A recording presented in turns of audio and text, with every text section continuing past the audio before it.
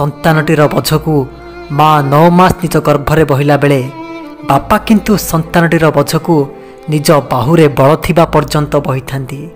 ଏଠି ଦୁଇ ଜଣ ସମାନ ଭାର ବହୁଥିବା ବେଳେ ମା ତୁଳନାରେ ବାପା କାହିଁକି ପଛରେ ରହିଗଲେ?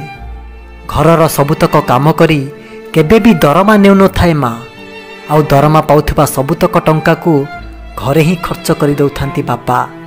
ଏଠି ଦୁଇ ଜଣଙ୍କ ପରିଶ୍ରମ ସମାନ ହୋଇଥିଲେ ମଧ୍ୟ ମା ତୁଳନାରେ ବାପା କାହିଁକି ପଛରେ ରହିଗଲେ? ଯାହା ଦରକାର ତାହା ରୋଷେଇ କରି ଦେଉଥାଏ ମା। ଯାହା ଦରକାର ତାହା କିଣି ଆଣି ଦେଉଥାନ୍ତି ବାପା। ଏଠି ବି ଦୁଇ ଜଣଙ୍କ ଭଲ ପାଇବା ସମାନ ହୋଇଥିଲେ ମଧ୍ୟ ମାଆର ନାଁଟି କେବଳ ସାମ୍ନାକୁ ଆସିବା ବେଳେ ବାପା କିନ୍ତୁ ବହୁତ ପଛରେ ରହିଗଲେ।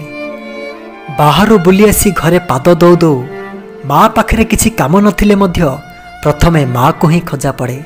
କିନ୍ତୁ ବାପାଙ୍କୁ ସେତେବେଳେ ଖୋଜା ପଡ଼େ ଯେତେବେଳେ ଆମର କିଛି ଆବଶ୍ୟକ ଥାଏ ମାଡ଼ ବାଜିଗଲେ ମଧ୍ୟ ହଠାତ୍ ପାଟିରୁ ମା ବୋଲି ଶବ୍ଦଟିଏ ହିଁ ବାହାରେ। କିନ୍ତୁ ବାପାଙ୍କୁ ଆମେ ମନେ ପକାଉନାହୁଁ ବୋଲି ବାପା କ'ଣ କେବେ ମନ ଦୁଃଖ କରନ୍ତି? କେଜାଣି କାହିଁକି ବାପାଙ୍କ ଭଲ ପାଇବାଟା ବାହାରକୁ ଦେଖାଯାଏନି ବୋଲି ପିଲାମାନଙ୍କ ଆଖିରେ ବି ବାପା ବହୁତ ପଛରେ ରହିଗଲେ। ଆଲମାରି ସାରା ଭର୍ତ୍ତି ହୋଇଥାଏ ମା ପାଇଁ ରଙ୍ଗ ବେରଙ୍ଗର ଶାଢ଼ୀ ଆଉ ଆମ ଭାଇ ଭଉଣୀଙ୍କ ପାଇଁ ବିଭିନ୍ନ ପ୍ରକାରର ପ୍ୟାଣ୍ଟ ସାର୍ଟ ହେଲେ ବାପାଙ୍କର ପ୍ୟାଣ୍ଟ ସାର୍ଟରେ ଆଲମାରିର ଗୋଟାଏ କଣ ବି ଭରି ହୁଏନି। ତଥାପି ବାପାଙ୍କ ମନରେ ଟିକେ ବି ଆଶଙ୍କା ନଥାଏ। କେଉଁ ମାସରେ ଯଦି ପିଲାମାନଙ୍କର ସ୍କୁଲ ଫିଜ୍ ଘର ଖର୍ଚ୍ଚ ସବୁ ବଢ଼ିଯାଏ ତାହେଲେ ଏଥର ପର୍ବକୁ ଆଉ ମୋ ପାଇଁ ଶାଢ଼ୀ କିଣିବନି ବୋଲି କହିଥାଏ ମା। କିନ୍ତୁ ବାପାଙ୍କର ତ ମୂଳରୁ କିଣିବାର ହିଁ ନାହିଁ। କେବଳ ସେଇ ପୁରୁଣା ଚାରିହଳ ଖଣ୍ଡିକକୁ ପିନ୍ଧି କହିଥାନ୍ତି କ'ଣ ନା ଏଗୁଡ଼ାକ ତ ନୂଆ ଭଳି ଦେଖାଯାଉଛି। ଏଥିରେ ଆହୁରି ମୋର ବହୁତ ଦିନ ଚାଲିଯିବ। ଏଠି ଦୁଇ ଜଣଙ୍କ ତ୍ୟାଗ ସମାନ ହେଉଥିବା ବେଳେ ମା ତୁଳନାରେ ବାପା କାହିଁକି ପଛରେ ରହିଗଲେ? ଆମକୁ ବାଇକ୍ ଚଲାଇବାକୁ ଦେଇ ବାପା ଆଜି ବି ସାଇକେଲ ଚଲାଉଛନ୍ତି। ତଥାପି ତାଙ୍କ ମନରେ ତିଳେ ହେଲେ କଷ୍ଟ ନାହିଁ। କାହିଁକି?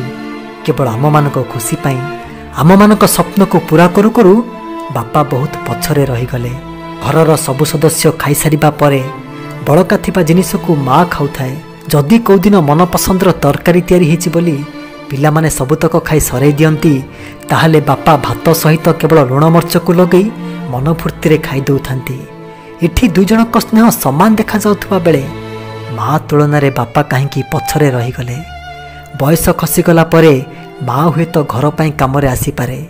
କିନ୍ତୁ ବାପା ଆଉ ବାହାରକୁ ଯାଇ ଖଟି ପାରିବେନି ବୋଲି ଜାଣି ସୁଦ୍ଧା ସବୁବେଳେ ପଛରେ ରହିଯାଉଛନ୍ତି ସେଇ ବାପା। ବାପା ଏମିତି ବାରମ୍ବାର ପଛରେ ରହିଯିବାର କାରଣ କ'ଣ ଜାଣିଛନ୍ତି? କାରଣଟି ହେଲା ସିଏ ହେଉଛନ୍ତି ଆମ ସମସ୍ତଙ୍କ ପାଇଁ ଗୋଟାଏ ଗୋଟାଏ ମେରୁଦଣ୍ଡ। ଶରୀର ପଛରେ ମେରୁଦଣ୍ଡ ଅଛି ବୋଲି ତ ଆମେ ସମସ୍ତେ ଦମ୍ଭରେ ଠିଆ ହେଇପାରୁଛନ୍ତି। ଏଇଟା ହିଁ ହେଉଛି ବାପା ପଛରେ ରହିଯିବାର କାରଣ। ବାପାଙ୍କୁ କେବେ ବି କଷ୍ଟ ଦେବେନି। ବାପା କଷ୍ଟ ପାଇଲେ ଭଗବାନ ଦୁଃଖ କରନ୍ତି। ଭଗବାନଙ୍କ କୃପା ପାଇବାକୁ ହେଲେ ପ୍ରଥମେ ବାପାଙ୍କୁ ପୂଜା କରନ୍ତୁ। ପିତା ଧର୍ମ ପିତା ସ୍ୱର୍ଗ ପିତା ହିଁ ପରମ ତପ पितरी प्रीतिमा पन्हे प्रियंते सर्वदेवता।